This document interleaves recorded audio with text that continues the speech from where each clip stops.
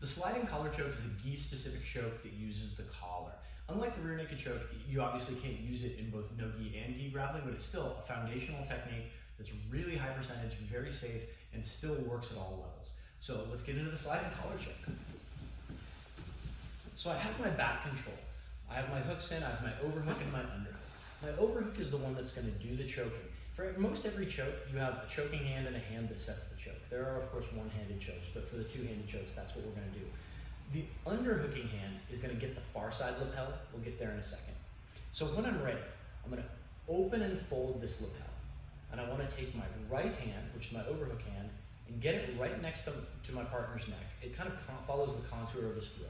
Now I'm gonna bring the lapel to my hand by pulling it and making it tight. For this choke, we want this grip as tight, or we want the uh, this grip as tight as possible. We want it to be very tight to the neck. For other chokes like the bow and arrow choke, you may want it a little bit looser. We'll go into that later. But it's always easier to go from tight to loose than the other way around. So try and get a tight grip at first. So this will be the hand that chokes it. But if I just try to pull the choke, there's nothing that holds it in place. Dave's gi is going to move.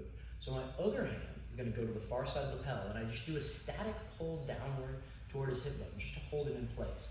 Now already the choke is starting to come on, but gonna do is my right elbow here that you can see is in front of Dave's shoulder. I'm gonna take that elbow and try to pull it behind Dave's shoulder while my body angles off, looking toward my right. And that's what winds the choke. Without the grips, it looks like this. So this hand winds the choke and my body helps. One common mistake that guys make is that they look instead of moving their body. Remember, your spine is going to go where your head goes, and so in, I want you to pretend that you had spinal fusion surgery, and you can only look to the right by moving your body to the right. So one more time, we have our overhooking hand and we have our underhooking hand. We're going to take the underhooking hand and open and fold the gi. This hand, I want you to have the back of your thumb against your partner's neck, and then bring the lapel, feed it to your hand. The other hand comes to the far side of the lapel and just gently pulls down. All this hand is going to do is just gently pull, like maybe 10% down, just stop the gi from, from slipping. We're going to pull our right elbow behind the shoulder as our entire body angles off at about 15 degrees toward the right, winding the choke. And my partner taps.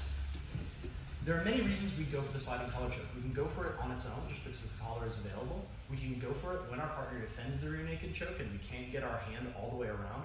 Or we can go for it if we're not as confident in the bow and arrow choke, which is another option from this position. Either way, the sliding collar choke is a choke that everybody should get good at. It's fundamental and it really works.